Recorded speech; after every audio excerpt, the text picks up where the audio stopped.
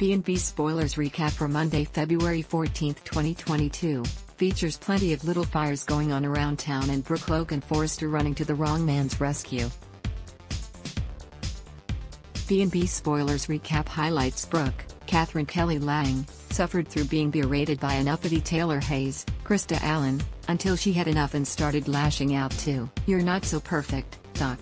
And, as a mental health pro, shouldn't you have more empathy? Taylor pointed out that nothing ever changes in Brooke's world or her bedroom. B&B Recap, Your Mama. Also going head-to-head were Steffy Forrester Finnegan, Jacqueline MacInnes Wood, and Hope Logan Spencer, Annika Noelle. The stepsisters listed each other's mama's faults. Of course, Brooke's list was longer, and Steffy won that round.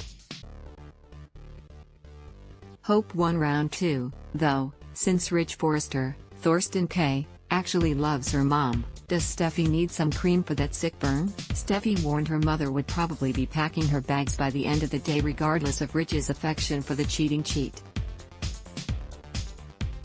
Bold and the beautiful recap, a big whoopsie over in the storage room, it was Royal Rumble time.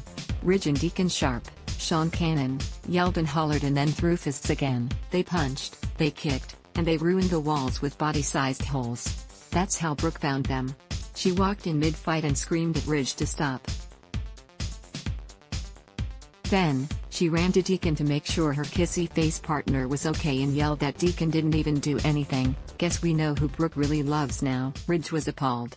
The Bold and the Beautiful, B&B, airs weekdays on CBS. Check your local listings for airtimes.